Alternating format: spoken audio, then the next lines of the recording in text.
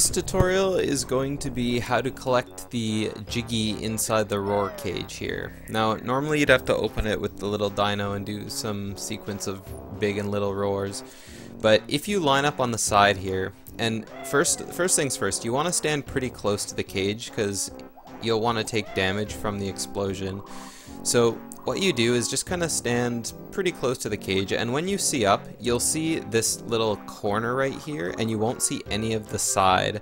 Like let me give you an example. If you were over here see how you can see like the sides of these and it's like big and ugly and you can't really see a hole?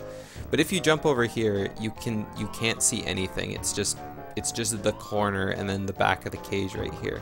So what you want to do is aim your um, reticle right in the very corner here and shoot through and it'll just automatically go through. Now if you're low health of course you'll want to blow up your clockwork back here but uh, if you're not you'll want to run your clockwork forward ever so slightly right after collecting and then blow up and that'll just give you uh, control of Kazooie a little faster.